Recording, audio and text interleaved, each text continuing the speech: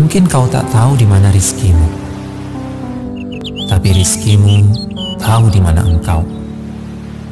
Dari langit, laut, gunung, kebaikan, dan lembah Rabb memerintahkannya menujumu. Allah berjanji menjamin rizkimu, maka melalaikan ketaatan padanya demi mengkhawatirkan apa yang sudah dijaminnya adalah kekeliruan berganda.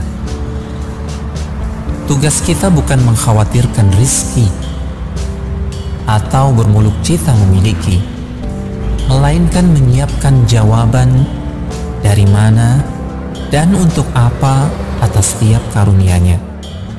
Betapa banyak orang bercita menggenggam dunia dia alpa bahwa hakikat rizki bukanlah yang tertulis dalam angka, tapi apa yang dinikmatinya.